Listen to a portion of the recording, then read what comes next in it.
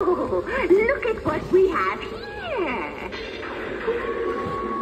A test subject for my new spell.